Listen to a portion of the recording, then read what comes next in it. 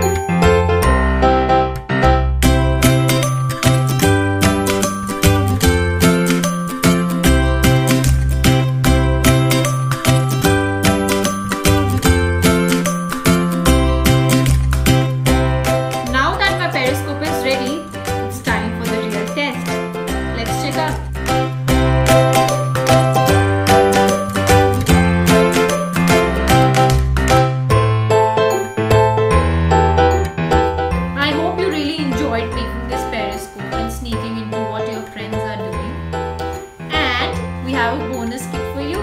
Want to know what it is? It's a mobile phone projector. Yes, a mobile phone projector. So when you're out camping or maybe when you and your friend are chilling, you have your little mobile, you can watch movies, TV series or maybe a lot of pictures using this simple box